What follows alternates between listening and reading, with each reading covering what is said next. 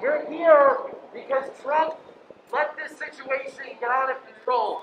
He denied that there was a problem when there was a clear and present danger to protect the, his corporate stooges, to protect the, the stock market, when it was obvious that there was a disease coming. They denied it and they denied it and they denied it and it came, as, as the experts predicted, and then they did nothing. They let the governors take over the situation, but they did nothing to produce new PPEs, new protective equipment for nurses. They did nothing to support the state's heaviest hit. And not only that, they've been using this to advance their fascist agenda. They've been using this emergency, this health emergency, to remove oversight officials in the government that would that would prevent this from happening again. That would call which would call the alarm. Trump shut down the, the CDC. He shut down Obama Obama programs that were just, just put in place to make sure pandemics didn't like this hit. And now he's taking credit as if somehow he did something to stop this. He did nothing to stop this.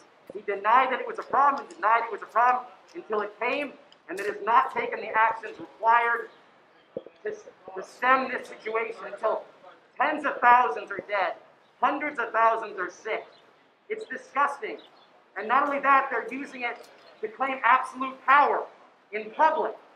This public health emergency. It's ridiculous. That's why we have to stop the Trump and Pence regime now.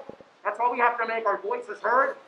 We can't let him take this tragedy, this global pandemic, and use it to seize yet more fascist power by removing oversight, by removing any independent judiciary, by attacking his opponents in the press and in, and in public, claiming absolute authority.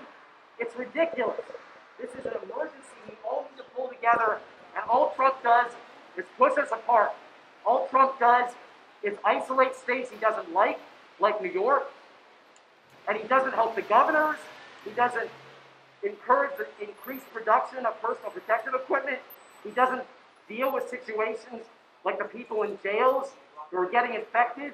All of these things are denied and denied and deflected. And oh, the only people who are helping are the citizens and the governors. But, but Trump is a clear and present danger. Things will only get worse with the Trump and Pence regime in power. Look around you. Look at this city right now. This didn't need to happen. If Trump hadn't denied it and denied it and denied it and failed at every level, we wouldn't be in this situation. But yet we are. And that's why we need to stand up and raise our voices and show the people that Trump's inaction and then his negligent actions have led to this pandemic hitting us so hard. And not only that, now, as I said, he's using this to advance a fascist authoritarian power grab. We need to stop this. We need to raise our voices. That's why we're here demonstrating. And that's why we'll continue to do that, even if it's, we'll do it safely, but we need, it needs to be done. The voices need to be raised.